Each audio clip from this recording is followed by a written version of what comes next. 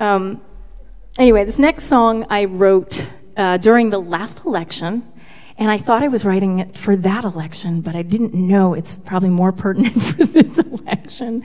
Um, we, uh, when we were on the eve of electing our first African American president of the United States, which we did, and no one can take that away from us. Um,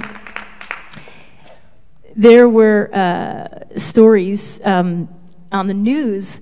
Uh, I don't know if you remember, but um, Barack Obama was, was nominated as the first black presidential nominee to the DNC um, on the 45th anniversary to the day of Martin Luther King's I Have a Dream speech.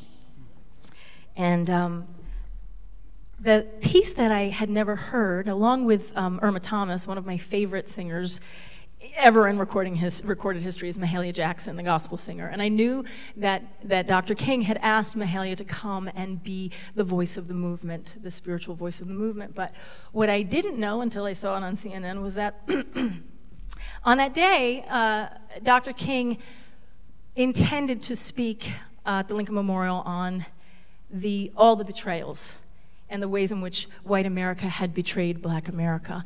And he was going to talk about the bad check that white America had written to black America, and he was going to end it there. He was going to drop the mic there. And uh, it was Mahalia Jackson who called out to him, and she said, Tell them about your dream, Martin. Tell them about the dream.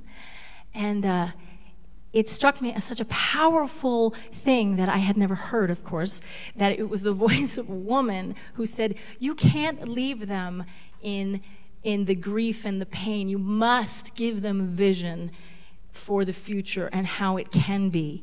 And it was amazing to me to know that it was this powerful African American woman who inspired King to give us the speech that we all know and we all love. And so I was fascinated with the idea of making Mahalia sort of the, the American muse throughout history, sort of whispering to John Adams and Thomas Jefferson and Lincoln and each generation, helping us remember these truths that we believe are self evident, but some people need reminding. So um, I wrote this song, and if you know it, you can sing along with me. I know some of you uh, already want to, and it's called Tell Them About the Dream. And I thank you so, so much for being here this evening from the bottom of my heart.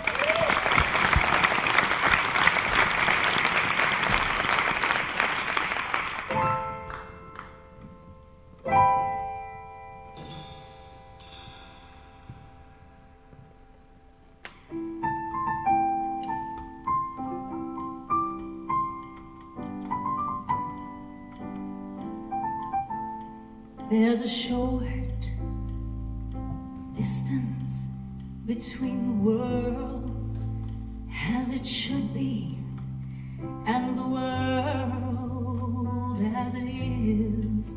I've tried to talk to you through history. I am the muse. I whispered to John Adams, here's your vision up to you. And he said, Jefferson, please pull through.